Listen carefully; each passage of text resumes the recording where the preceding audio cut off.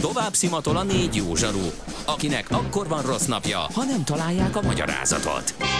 A francia kapcsolat a Wall Streetig vezet. Figyeljük a drótot, hogy lefüleljük a kábelt.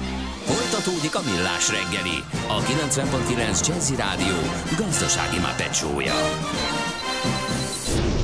A pénznek nincs szaga. Mi mégis szimatot fogtunk. Ez továbbra is a Millás reggeli, tehát itt a 90.9 Jazzy Rádióban, mégpedig Mihálovics Andrással. És mégpedig Kántor Endrével. Köszöntöm én is az egybegyűlteket. 2021. január 19-e van, ez pedig, ahogy tanult kollégám elárulta, valóban a Millás reggeli rádió műsora, a 90.9 Jazzin, SMS, Viber és WhatsApp számunkkal adósok vagyunk, még 0 30 20 10 909. Szóval, hogy az előző felvételre írta nekünk Vili, és erre reagálnék a kedves hallgató, és nagyon nagy süvegelésem lenne Peter Ellen Greenbaum előtt, hogy ezt már egyébként megtettük. Na, nagyon rossz volt ez a 2020-as év, július 25-én távozott egy másik helyre. Ő, akit egyébként a professzionális világban művész nevén Peter Ellen Greenbaumot Peter Greennek hívták, angol blues rock énekes, gitáros zeneszerző volt, nem utolsó sorban a Fleetwood Mac alapítója. 1998-ban került be a Rock and Roll Hall of Fame-be, a hírességek csarnokába. Olyan dalai vannak többek között, mint például a Black Magic Woman, amit ugye érdekes módon nem tőle ismerünk legjobban, de még nagyon sok más is és uh, például Eric Clapton uh, is nagyon uh, uh, dicsérte gitárjátékát. Willi azt kérdezi, hogy ez a Peter Green egy B.B. King tanítvány? Amikor megszólalt a gitár, azt hittem a King játszik. Tehát nem Greens, hanem Green, és nem tanítvány, illetve hát, hogyha így nézzük, akkor minden gitáros B.B. King tanítvány, hanem még B.B. King is azt mondta róla, Peter Greenről, hogy a legédesebb gitárjátéka van, amit valaha is hallottam, amikor hallom, hogy játszik, beleborzongok. Úgyhogy hát ennyit most Peter Greenről. Más dolgunk van, de még esetleg beszélhetünk majd róla egyszer. Nem ma, és nem mi találtuk fel a spanyol viaszt. Mesél a múlt. A millás reggeli történelmi visszatekintő rovata akkor, abból az időből, amikor pödört bajusz nélkül senki nem lehetett tőzsdeüzér. Érdekességek, évfordulók, események annó. Mesél a múlt. Így trédeltek dédapáink. Vonal túlsó végén videó kapcsolat segítségével Katona Csaba történész. Szervusz, jó reggelt! Szervusztok, jó reggelt kívánok! Hát én azt a munkacímet adtam, hogy eh, vaskancellár bábaként, mert hogy 150 éve született a eh, német eh, császárság, és hát utólag gondoltam ebbe bele, hogy ez, ha valaki így maga elé képzeli Bismarckot azzal a jellegzetes kefe bajszával, meg a kicsit ilyen mackós, de mindenképpen tekintélyt parancsoló megjelenésével, ahogy azt mondja, hogy nyomjon anyuka, nyomjon, az eléggé, hogy is mondjam, csak rémisztő így első hallásra. Igen, maradjunk annyiban, hogy Bismarckot nem ebben a szituációban szoktuk elképzelni, de tény, amit tény, hogy az ő bábáskodása mellett született meg, ugye az egységes Németország, vagy a német birodalom, ha úgy tetszik, a második birodalom, hogyha még szebben akarunk fogalmazni, és ez egy nagyon érdekes dolog, hiszen ennek ugye 150 éve van, 1871. január 18-án kiáltották ki ezt a német császárságot, és hát ez elég érdekes évforduló, mert azt gondolom, hogy nem kell különösebben hangsúlyozni, hogy nagy megemlékezések, nagy ünnepségek, nagy állami hatacári ezt nem kísérte Németországba, tehát elég ellentmondásos ennek a birodalom születésének a megítélése. Meg lehet közelíteni... De minden esetre egy ilyen diplomáciai és politikai bravúrnak tűnik ennek a létrehozása. És katonai bravúrnak. Tehát ezt az egészet egy kombinációban kell elképzelni. Ugye induljunk ki abból, hogy a 19. század egyik nagy eszméje az a, az a nemzeti gondolat volt, a nacionalizmus gondolata, amelynek nyomán megszületett a nemzetállamok eszméje. Hogy aztán ez hova vezetett a 20. századba, abban most nem menjünk bele, az egy másik beszélgetés tárgya lehetne, de ugye szoktuk itt emlegetni abszolút pozitívan az olasz egységet, és hát a németesség kérdése is természetesen fölmerült ebben az esetben. Ugye volt a Német Szövetség a Bécsi döntés után, Napolon bukása után, ami egy ilyen nagyon laza szövetséget jelentett különféle kisebb, nagyobb német államok között, és hát a legerősebb német állam, az nyilván nem árulok el ezzel semmi ügyat, az Poroszország volt, az a Poroszország, amelyiknek a császára Vilmos 1862-ben a kancellári székben köszönhette Otto von Bismarckot, aki addigra már tapasztalt diplomata volt. Egyébként egy apróság Bismarckkal kapcsolatban. 1852-ben, ha nem csal az emlékezetem, járt Magyarországon, tehát diplomataként, nem magálmutom, és elég érdekes dolog, hogy van egy olyan levele, amiben arról ír, nagyon kevéssel az aradi tábornok a kivégzése után 1849. novemberében talán, ahol az éde az anyósának ír egy levelet, és azt írja, hogy hát rettenetes, ami itt történt, ezek a lázadók, ezek vérbe borították Magyarországot, és ők a felelősek mindenért, ami történt, pedig azzal zárja a dolgot, hogy nagyon reméli, hogy az ő anyósa, ha hasonló módon kéne cselekednie, mint Hajnaúnak, nem úgy fog rá gondolni, mint Hajnaúra a saját anyósa. Hát ennyit Bismarck és Magyarország forradalmak sajátos viszonyáról, viszont ez jól mutatja az ő személyiségét, tehát nem véletlenül kapta a vaskancellár nevet, és nem véletlenül fűződik a nevéhez ez a vassal és vérrel írjuk a történelmet mondás, amit ugye minden igaz a parlamentben ejtett ki a száján. Miről szólt a ő küldetése? Hát természetesen ennek a egységes német államnak a megteremtéséről. Ehhez egyaránt szükség volt, úgy, ahogy említetted, a diplomácia eszközeire és szükség volt a hadsereg fejlesztésre. Nagyon röviden a hadsereg. jól sikerült az utóbbi, ugye? Mindkettő. Igen, Mindkettő. mert ugye az osztrákokat jól elpáholták. Igen, hát itt a a is megemlékeztünk Königrészről, ugye 1866-os Königrészi csatáról. Ugye nagyon röviden annyit talán csak a hadseregreformokról, hogy Helmut von Moltkével az élem fölmérte azt a porosz hadsereg, hogy a modern háborúban van két kulcseleme, az egyik a tömeghadsereg, egy olyan mennyiségű embernek a mozgatása, amit nem tud a hadvezér egymaga irányítani, mozgatni, hiszen annyira szétterül a hadsereg a különféle csatamezőkön. Következésképpen az a régi vágású szemlélet, mely szerint nem csak azt mondják meg, hogy mi a feladata az egyes csapatrészeknek, hanem azt is, hogy azt hogyan kell végrehajtani és módosítani, csak akkor lehet, ha egyeztetnek a fővezérrel. Ez a modern háborúban nem működik. Tehát sokkal nagyobb önállósággal ruházta föl a egyes sereg részeknek a vezetőit, mondaná, hogy a feladat adott, de a döntést te hozod meg, hogy hogyan és miként hajtsd végre, sőt adott esetben felül is bírálhatod a döntést, hiszen én a vezér ezt nem tudom átlátni. Ez volt az egyik, ami nagyon fontos dolog volt. A másik, hogy a tisztjeiket úgy képezték ki, hogy minden tiszt felülképzett volt ahhoz képest, amilyen feladatot betöltött, amilyen posztot betöltött.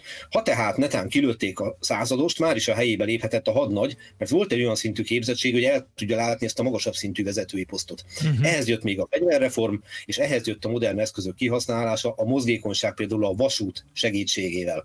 De nem véletlen, hogy 1866-ban Königrész óriási fölénnyel ért véget. Ugye addigra azért már persze kiismerték a a osztrák seregeket is meglehetősen, hiszen 1864-ben, amikor Dániától megszerezték ugye azokat az észak-német területeket a Schleswig-Holstein környékén, amelyik aztán Németországhoz tartozott, az osztrákok meg a poroszok kölcsönösen kiismerték egymás hadseregét, hiszen egy oldalon harcoltak. Ez egy más kérdés, hogy kiaknázta ki jobban ezt a kölcsönös ismeretet. Azt gondolom, hogy ezt itt most már nem kell elemezgetnem. Igen, és Poroszország lassan, de biztosan elkezdett izmosodni, de ahhoz, hogy felvegye a versenyt Ausztriával 1866-ban, meg aztán Franciaországgal kellett, és ezt ne felejtsük el pillanatig se, Bismarck és egyáltalán Poroszország diplomáciai bravúrja, hogy biztosítani tudja azt, hogy amikor majd Franciaországgal tusakodásra kerül sor, vagy fegyveres harcra kerül sor, akkor lehetőség szerint a többi nagyhatalom ne nagyon avatkozzon ebbe bele. Hiszen logikusnak tűnt például, hogy a monarchia, mert addigra már monarchiáról beszélünk ugye 1867-től, revansot akar venni kisnémet egység felé haladó Poroszországon, de azért a monarchia elég jól emlékezett arról, hogy mivel jár újat húzni a porosz hadsereggel, ott volt még a, úgymond a magyar vonal is, a magyarok ellenkezésre is lehetett számítani. Nagyjából biztosította azt is Bismarck, hogy Oroszország sem fog beszállni ebbe a történetbe. Ez utóbbi egy érdekes lehetett, mert az oroszok mindig abban az időben, ugye gondoljunk csak a 48-as, 49-es szabadságharc leverésére, a Napóleon elleni koalícióra, tehát ők akkor politika csinálók voltak Európában, és mégis bravúr volt, hogy ettől a német egységtől egy hatalmas szomszédnak a létrejöttét nem akadályozták. Hát azért voltak itt közös érdekeik, teszem azt a, a, az akkori jogilag nem létező Lengyelország, ugye? ahol ugye, szegény lengyelek többször kifogták azt, amikor a orosz meg a német nagy hatalom rájuk telepszik, hát erre a 20. században is volt példa, tehát itt is voltak kölcsönös érdekeltségeik, meg még egy dolog, hogy azért a oroszok ebben az időben nem feltétlenül Európa felé irányozták a figyelmüket, vagy legalábbis nem Európának erre a részére. Az olaszokat sem sikerült francia oldalon behozni, ugye nekik is megvolt a, ott a határnál azok a vitáik, aminek révén a egységesség felé haladó Olaszország sem akart beszállni ide, és mindenek tetejébe még volt néhány olyan diplomáciai dolog, amit Bismarck kijátszott. Hát ugye az Észak-Német Szövetség jön létre 1866 után, de ennek nem tagjai a dél-német államok amik azért eléggé eltérnek az észak-németektől, ugye ezek jó rész katolikusok, gondolok itt Württembergre és így tovább, Bajorországra és így tovább. Na velük kötött egy olyan szövetséget, hogyha fegyveres konfliktusra kerülne sor, akkor mindenki a teljes haderejével segíti a többieket. Magyarán fogalmazva, hogyha 1866 után megint belép egy háború Poroszország, akkor kötelezve voltak arra a délnémet államok, hogy fegyveres erejükkel segítsék, ami azért sokkal több, mint a semlegesség, és egyfajta előszobája már a német egységnek, hiszen ők nem voltak tagjai az Észak-Német Szövetségnek, de egy ilyen fegyveres szerződésre azért mégiscsak sikerült rávennie őket Bismarcknak. A másik dolog pedig, ami szintén diplomáciai bravúr volt, hogy végül is ama bizonyos híres ENSZ távirat révén, ugye végül is maguk a franciák üzentek hadat Poroszországnak. Tehát kiprovokálta azt, hogy még csak ne is Poroszország kerüljön az agresszor szerepébe. A franciák üzentek hadat, és innentől kezdve egy nagyon gyors lefolyású háborúval volt dolgunk. Ugye, és mi a háború? háborúval? Az is nagyon aki ezt a korszakot tanulmányozza, akár Königrecet, akár a, a, ezt a franciák elleni döntő ütközetet, az fog csodálkozni egy-két dolgon, főleg, hogyha ennek a két csatának a leírását is, meg a következményeit is e, tanulmányozza, akkor nagy meglepetések érik. Döbbenetes volt a porosz katonai fölény. Kezdjük itt. Tehát egész egyszerűen a Patrice MacMahon, hát olyas kószármazású későbbi francia köztársasági elnök tábornagy vezet francia sereg zsinórban szenvedett vereségeket. Ugye onnantól kezdve, hogy kitör a háború egyébként 1870. július 19-én a rendkívül mozgékony és roppant hatékony módon harcoló porosz csapatok sorra verik meg a francia egységeket, és az egésznek aztán az lesz a vége, hogy eljön az a bizonyos szedáni csata, amit annyi szoktak emlegetni, ugye az a kulcs csatája, 1870. szeptember 1-én a porosz-francia háború kulcs csatája, aminek aztán az lesz egyebek mellett a következménye, hogy Napóleon császár fogságba kerül, harmadik Napóleon francia császár. Hát ennél megalázóbb helyzetet nagyon nehéz elképzelni, hogy az uralkodót sikerül fogságba ejteni. És innen aztán már gyakorlatilag egyenes út vezetett oda, hogy kikiáltsák az egységes német császárságot. Na ez azért még mindig kellett pár diplomáciai úr, hiszen erről azért mégiscsak meg kellett győzni, például Lajos Bajor királyt, hogy fogadja el ezt a dolgot, hogy létrejön az egységes német császárság, ami azért nem ugyanaz, mint a fegyveres szövetség. De sikerült őket meggyőzni, és van még egy egészen meglepő dolog, amire elsőre talán nem is gondolnánk, az nevezetesen az, hogy maga Vilmos császár, ekkor már császár, ugye január 18-tól, hát ő nem feltétlenül rajongott azért a címér, hogy császári cím. Ő úgy viszonyult ez a dologhoz, hogy szép-szép ez a német egység, és persze, mint birodalom, ő gondolkodott is, de úgy volt vele, hogy ez elhomályosítja az hagyományos porosz királyság fényét, mert hogy ez a német császárság ez így magába olvasztja úgymond Poroszországot. De sikerült erről meggyőzni. Viszont ami... Miről lett a császár? Arról lehet tudni? Egy ilyen kompromisszumos jelölt volt ő? Poroszország vitte keresztül ezt az egészet. Tehát azért azt ne felejtsük el, hogy a német egységet azt valóban Poroszország vitte keresztül, Poroszország uralkodója pedig Vilmos volt. Tehát tulajdonképpen föl sem merült, hogy más legyen a császár. Itt igazából arról volt szó, csak szó, hogy például a délnémet államok, amiknek azért tényleg voltak kulturális egyéb, és egyéb különbségeik, beleegyeznek ebbe beleegyeztek. Tehát az a látványos siker, ez egyértelművé tette, hogy föl sem merülhet potenciálisan más jelölt. Ami viszont nagyon-nagyon nagy különbség volt, és itt egy picit akkor már előre is tekinthetünk, ez a bizonyos ceremónia, ugye ott a Versailles palota tükörtermében. Akkor, amikor sikerült legyőzni Ausztriát 1866-ban, akkor Bismarck nagyon ügyes diplomataként kijátszotta azt a dolgot, hogy ne alázzák meg Ausztriát. De fölmerültek akkor ilyen ötletek, hogy bevonulni Bécsbe. Bismarck ezt hárította, szükségtelen.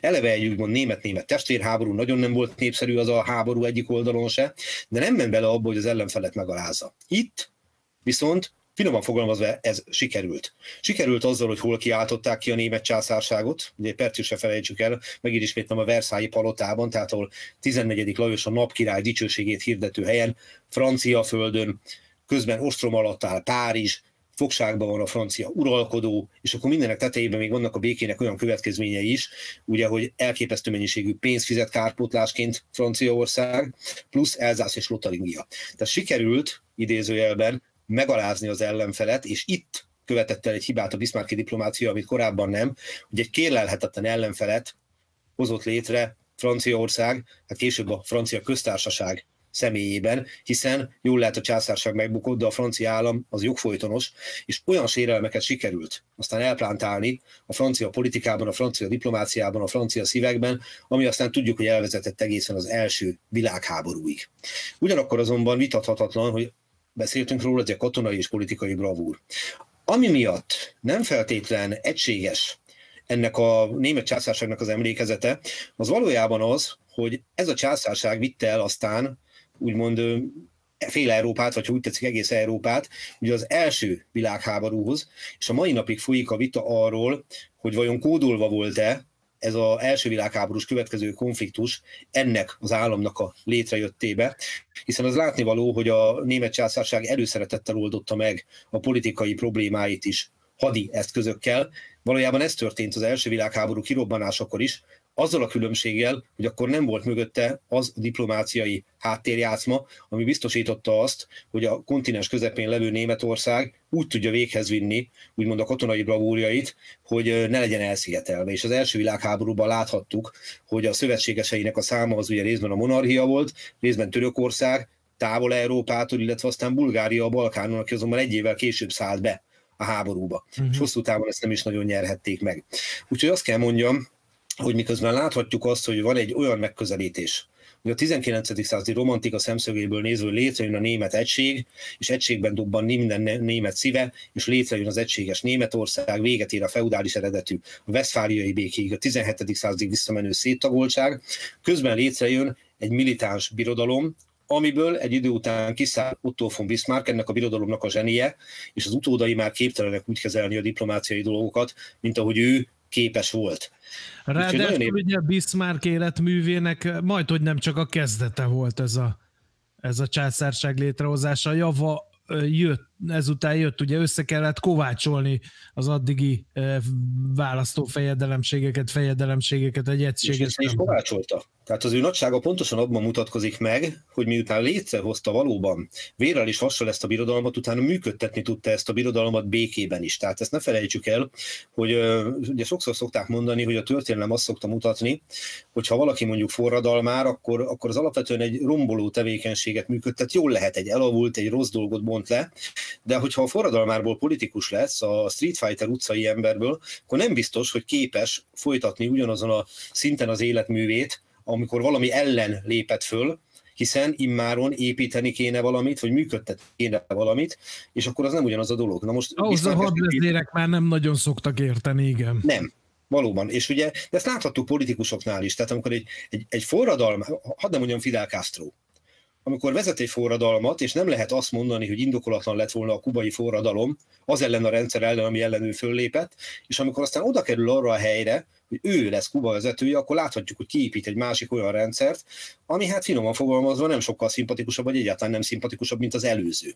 De most Bismarck viszont nem utcai politikus volt, ő tapasztalt diplomata volt, és emellett pedig az egy más kérdés, hogy egy kiváló hadsereg is kiépült ebben a porosz birodalomba. Ugyanakkor azonban egy idő után Bismarck személye óriási súlyjal nehezedett ugye az uralkodóra, nem első Vilmosra, második Vilmosra. Második uh-huh. Vilmosra, aki ugye messze nem volt olyan formátumú figura, mint az elődje.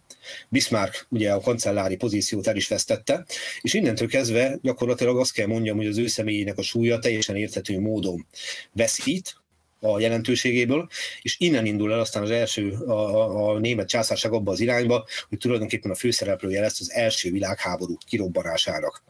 És van egy nagyon érdekes dolog ezzel kapcsolatban, amit talán az irodalom felé elmozdulhatunk. Ugye nem olyan régen emlékeztünk meg Thomas Mannról.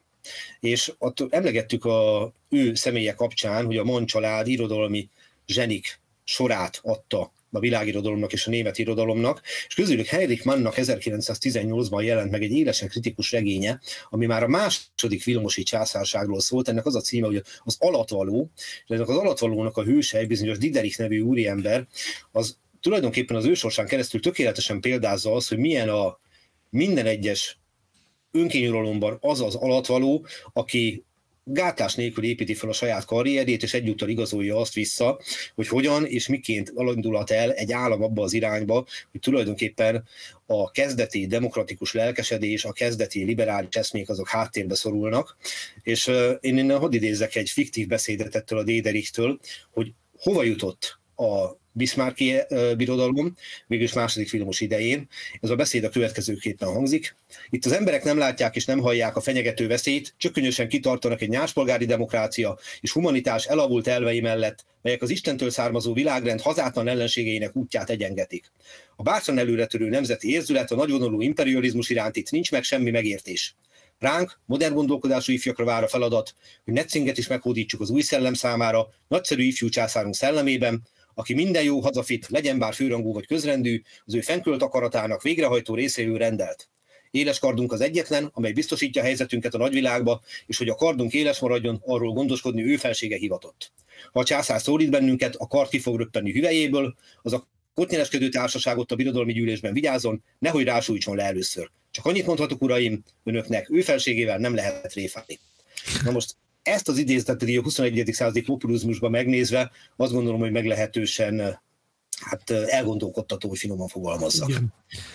No, én nekem meg egyetlen egy idézetem van Otto von Bismarcktól, ugye sokat beszéltünk róla itt a német császárság születése kapcsán. Ő egyszer azt mondta, három császárt láttam teljesen mezítelenül, és a látvány nem volt költői. Valóban. És ugye... Egyik biztos a harmadik Napóleon volt, akit Szedán után elkaptak. Lehet, Bismarcktól roppant hálás idézeteket lehet elővenni, ugye egy kiemelkedően okos ember volt. Hadd mondjak most két olyan dolgot, ami, ami uh, magyar vonatkozású is.